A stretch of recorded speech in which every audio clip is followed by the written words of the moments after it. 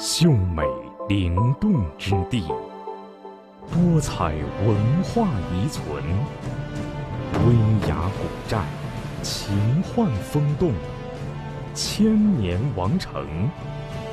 大山深处，暗藏几多别样乾坤。地理中国特别节目《湘西秘境》即将播出。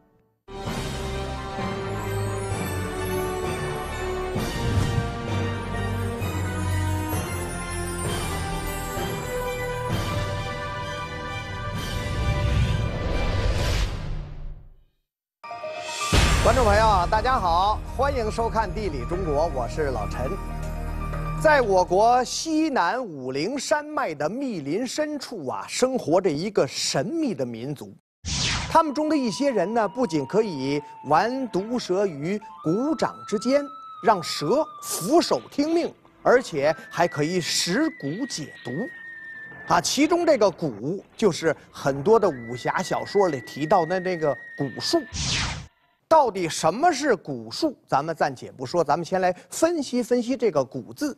您来看啊，上面一个虫字的，这是简体的“古”字，而上面有三个虫字的，这是繁体的“古”字。啊，不管是简体还是繁体，“古”字的下面呢，都是一个“皿”字，器皿的“皿”。从字面上我们理解啊，“蛊”就是器皿当中放了虫子。啊，您再来看看这个字。这是甲骨文当中的“蛊”字，画的是什么呢？是在器皿当中养了两条虫，这说明养虫制蛊至少有三千年的历史了。另外，在一些古籍当中啊，也有关于蛊的描述。制蛊的方法呢，就是把一些剧毒的生物，比如说蛇呀、蝎子呀、蜈蚣啊、蜥蜴等等。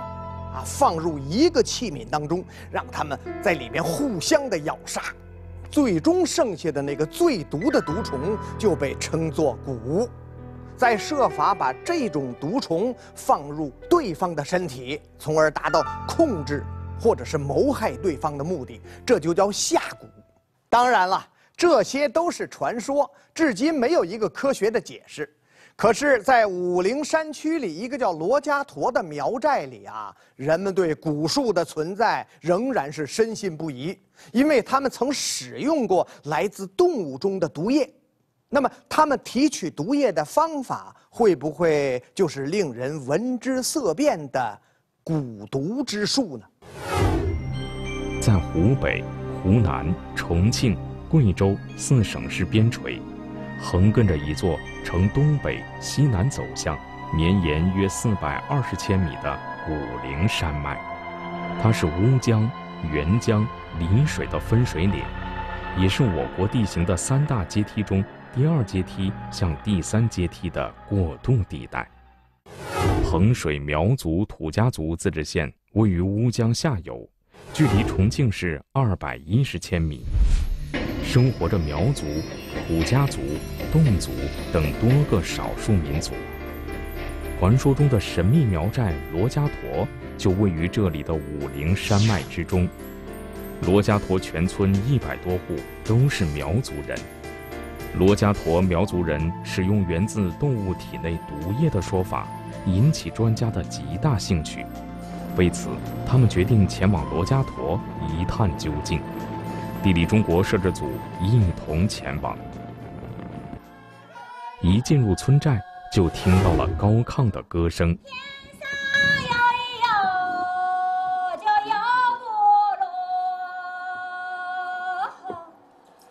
听着动人的苗族民歌，看着井然有序的村寨环境，摄制组顿时心生疑问：如此平静祥和的罗家坨村，真的存在提取动物体内毒液之术吗？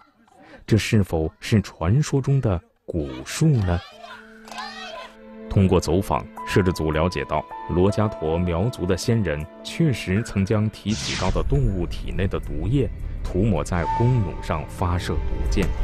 至于提取的时候是不是使用了蛊术，他们也不知道。不过，对于蛊术，他们确实有所耳闻，但这些方法早已失传多年。随着时间的推移，社会的进步，也不再有人用毒液涂抹箭头来捕杀猎物，但是射弩的技能却被当地人一直保留了下来。在村民带领下，摄制组来到一处庭院，只见一位穿蓝色苗族服饰的年轻人正在为游客表演射弩。向导说，他是村里射术最高的神弩手彭应平。知道我们来意后，彭应平告诉摄制组，在他很小的时候，确实看到过他爷爷从动物身上提取毒液。这些毒液原本就是从有毒动物的体内分泌而出，提取的时候必须是活体，稍不留神就有可能被有毒的动物所咬伤。在我国东南沿海的一些省份呢，也有毒蛇出没啊，甚至有的村庄全村人以养蛇为生。一些养殖户呢，熟练地练就了一套从饲养的毒蛇的体内提取毒液的本领。他们在采集蛇毒的时候呢，有很多的方法啊，比如说这种，将蛇自然放置在工作台上，啊，一只手呢提入蛇颈。一只手将玻璃器皿或者瓷碟放到这个蛇的嘴里，蛇咬住之后呢，就会有毒液流出。到这个毒液停止流出的时候，取出器皿，这叫咬皿采毒法。除此之外呢，还有咬磨采毒法和鸡鸭采毒法等等。彭英平告诉摄制组，他们村曾经流传的这个采毒法，与我国东南沿海一带盛行的采毒方法非常类似，压根儿就不是什么传得神乎其神的蛊术。看来呀，这蛊术制毒也就无从考证了。这蛊毒究竟科学不科学？咱们暂且不说，咱们得啊说说在考察的过程当中，摄制组发现的另外一个问题啊，这就是罗家坨，它地处武陵山脉的腹地，几百年前呐，这里是豺狼虎豹四处出没啊。你看这个，自然环境恶劣，啊，并不是安居乐业的最佳所在。可是他们的祖先为什么会选择在这里建造家园呢？村寨里的老人告诉摄制组，现今生活在罗家坨的这支苗族，当时居住在江西一带，他们以骁勇善战闻名。大约三百年前，这支苗族在与其他部族的战争中落败，为了保存实力，他们的先祖从江西一路迁徙。原本是想西行进入四川盆地，但是在到达武陵山区腹地的罗家坨之后，族里的巫师得到上天的指引，最终在恶劣的环境中停下了脚步，才有了现在的罗家坨苗寨。受到上天的指引，最终在地势险恶的武陵山脉腹地定居下来，并发展成了现在的苗寨。这种说法听起来真是有点不可思议，事实究竟是怎样？现在确实也是无从考证了。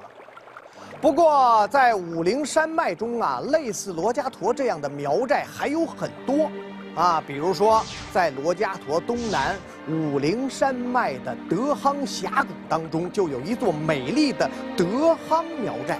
据说呀。德夯苗寨的建寨选址，同样是族里的巫师们得到了上天的指引，啊，这又是怎么回事啊？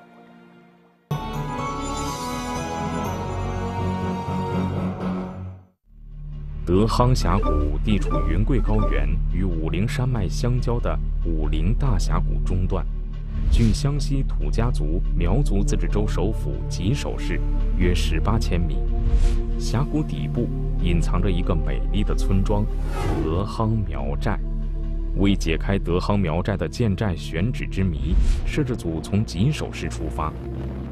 行驶一段路程后，摄制组来到一个山顶处。向导说，摄制组所在的位置叫问天台。传说当年苗族先人走到问天台，前方已无路可走。巫师在问天台与苍天对话后，便向谷中一指，告诉族人，那里就是上天赐予他们的家园。于是，苗族人就在德夯峡谷中建造了苗寨。对此，摄制组感到有些疑惑：苗族先民为什么偏偏要在这地势险峻的大山深处建造家园呢？苗族里的巫师又是怎样一种身份呢？苗族人对巫师的崇拜，这还得从苗族的历史说起。在我国古代，很多情况下都是巫医不分的。由于大多数巫师呢都能治病救人，所以人们认为巫医具有常人所不及的能力，对他们都非常的信任。同时呢，巫师中啊还有不少人掌握了一些普通人无法做到的绝技。你比如说，上刀山下火海等等。他们希望借此让族人看到自己神奇的力量，相信他们可以带领着大家战胜生活中的种种艰难，顽强地生存下去。不过说来也怪啊，武陵山很多地方，你比如说这个德夯峡谷，啊，原本自然环境十分恶劣，洪涝灾害频发，啊，它并不适合人类居住。可是苗族人还是在这里定居了下来。而且从来就没有发生过因为洪涝灾害啊、房屋倒塌呀，或者房屋被毁、人畜伤亡等等的事件。难道他们真有不为外人所知的生存之道吗？位于武陵大峡谷中段的德夯属亚热带季风气候，四季分明。每年的五到十月份，这里降水充沛，受绝壁地形的影响。在降雨集中的季节，这一带极易发生洪涝灾害。专家告诉摄制组，德夯苗寨能够免遭洪涝威胁，得益于他们这里独特的房屋建筑，这就是极富地方特色的吊脚楼。吊脚楼啊，又叫做吊楼啊，这是苗族、土家族、壮族、布依族等少数民族的传统民居。关于吊脚楼的由来，这里还有一个很有趣的故事啊。相传啊，土家人的祖先是因为家乡遭遇了水灾，才迁到湘西来的。不过迁过来之后啊，他们发现这里古木参天，荆棘丛生，豺狼虎豹随处可见。土家人搭起的简易木棚呢，常常遭受猛兽的袭击。为了安全起见，人们就烧起那树兜子火，里面埋上竹子的结界，这些东西在燃烧的时候就会发出如爆竹般的噼噼啪啪的响声，火光和爆竹声就吓走了前来袭击的野兽。这种方法虽然能够驱赶大的猛兽，但是对无处不在的像毒蛇呀、蜈蚣等等这样的毒虫却是无能为力。后来有一位土家老人想出了一个办法，他就让这小伙子们呐，利用现成的这些大树做架子，捆上木材啊，然后呢再铺上野竹啊、树条，在顶上呢搭架子，盖上顶棚，修起了大大小小的空中住房，啊，吃饭睡觉都在上面，从此再也不怕毒蛇猛兽的袭击了。这种建造空中住房的办法传到了更多人的耳中，他们便按照这个方法搭建起了更多的空中住房。后来人们发现呐，这种空中住房好处实在是太多了，于是呢，人们就在这个基础上不断的改进改良，最后就演变成了现在的这个吊脚楼。原本是为了躲避猛兽袭击和毒蛇毒虫威胁的吊脚楼，如今成为了西南山区一道道亮丽的风景。它的防洪的功能又该从何说起呢？吊脚楼是我国西南地区常见的干栏式建筑。由于居住于此的少数民族生活的地域山多田少、坡多坝少，气候多雨潮湿。吊脚楼就在山坡与坡地上依山就势而建，并以吊脚楼的高低来适应地形变化。摄制组发现，这里的吊脚楼一般分为三层：一层主要用来饲养牲畜，二层供人居住，而三层则用来存放玉米、辣椒等食物。这里的吊脚楼全部由木头支撑，且离地而居。当地老乡说，这并不是仅仅出于美观，它还有着特殊的功能。我们这些来讲呢，就是谈洪水、挡洪水。原来，当地人利用粗壮的树干支撑房屋，当洪水来临时，部分洪流可以由底层通过，这样就大大减少了洪水对房屋的冲击。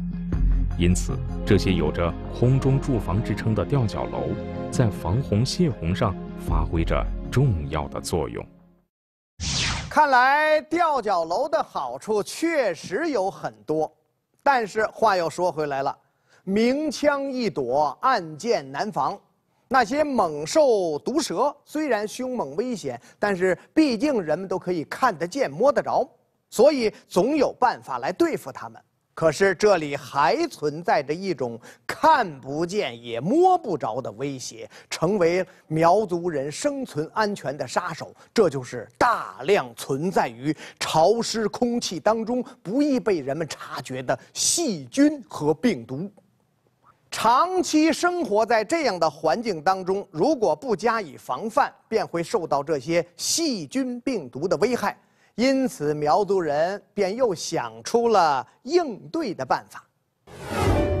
在苗寨，每逢节庆或其他喜事之日，苗族姑娘会全套盛装，配着满身光滑熠熠的银饰，欢歌劲舞。对于苗族人来说，银饰有着非同寻常的意义。多数苗族姑娘在成长过程中不断得到祖辈们的馈赠，于是都有了可观的银饰。他们在节日时候的盛装，如果缺少了银，那将是极大的不完整。头饰上的蜻蜓、蝴蝶，那些薄如蝉翼的银片颤动而发出的窸窣声，胸前的项圈垂挂的银铃儿的叮当撞击声，是所有节庆必不可少的音乐。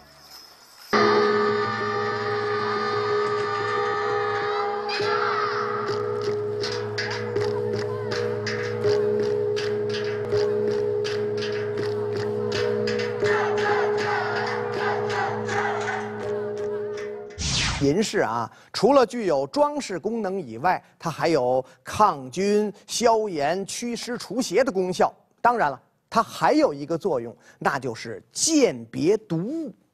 现在我来请大家看一段电视剧啊，大家很熟悉，这是电视剧《铁齿铜牙纪晓岚》当中的一个片段。贪官呢，为了谋害纪晓岚，就在给他送的这个鸡汤里下了毒。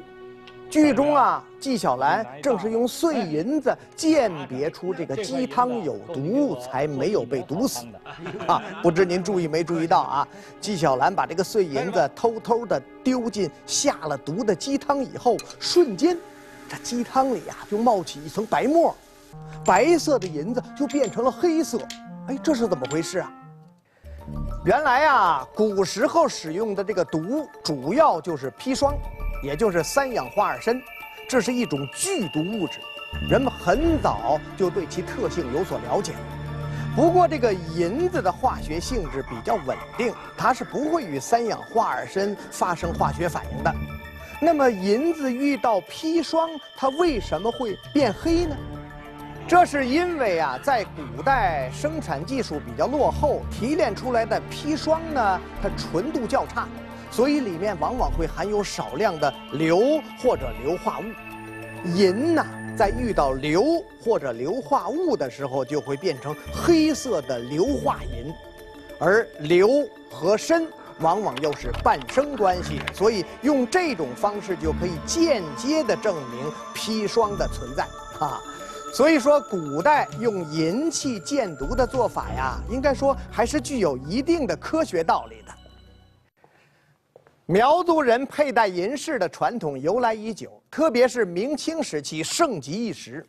他们在迁徙过程当中啊，发现了银饰能鉴别毒物的功能。由于来到了一个新的环境当中，什么都不熟悉，什么都不敢胡吃乱喝，因为一不小心，万一吃了有毒的东西就会丧命。因此，当不能确定这个食物是否有毒的时候，便取下随身携带的各种银饰啊，一试便知。就这样呢，原本主要用于装扮而佩戴的银饰，它又有了一个新的使命。正因如此啊，便有了对银饰的大量的需求，因此苗族也就诞生了许多打造银饰的能工巧匠。苗族人爱银饰，也擅长打银。三十八岁的银匠龙泽寿梳起苗族人的传统发髻。开始了清晨的忙碌。龙泽寿的银饰工坊就在自家的吊脚楼底下，龙银、捶打、拉丝、焊接，四个小时之后，一件具有苗族特色的饰品接近完成。龙泽寿的手艺源自祖传，他所在的控外村就曾经是远近闻名的银匠村。银矿资源在我国分布广泛。从银矿储量分布图上不难看出，控拜银匠村并非是银矿产区，不是银矿储量区，控拜为何能成为著名的银匠村呢？当地人加工银饰所需的原料又来自于哪里？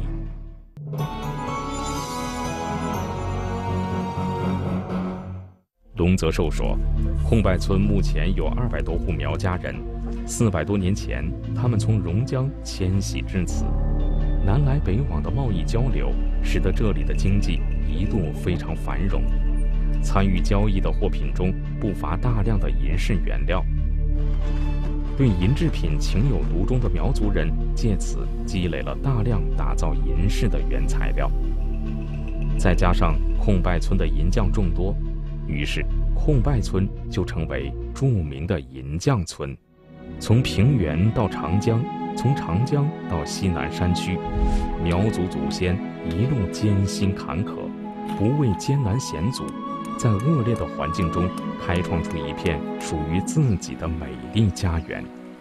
不论是克服毒虫猛兽的困扰，还是建造极富特色的吊脚楼，生活于湘西大山深处的苗族人都展现出了极具智慧的创造力。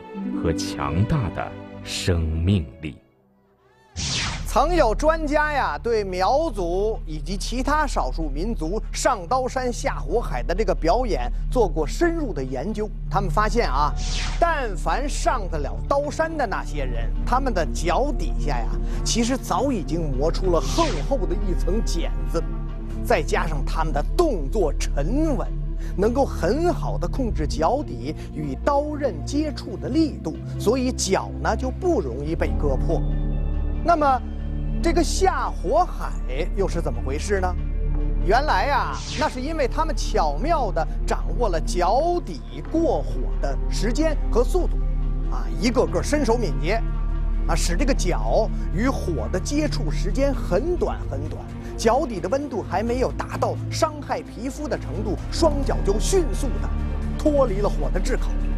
虽然掌握了这些技巧之后，并不会发生危险，但是，敢于上刀山下火海的人，就是人们心目当中的英雄，是人们眼中最勇敢的人。苗族勇士上刀山下火海，苗族姑娘一身盛装载歌载舞。山间一块块依山开垦的梯田，谷地一座座悬空而起的吊脚楼，构成了美丽动人的田园生活的画卷。谜一般的苗寨，依然令当今的人们产生出无限的遐想和许许多多的好奇。好了，感谢大家收看今天的《地理中国》，我是老陈，下次节目我们再会。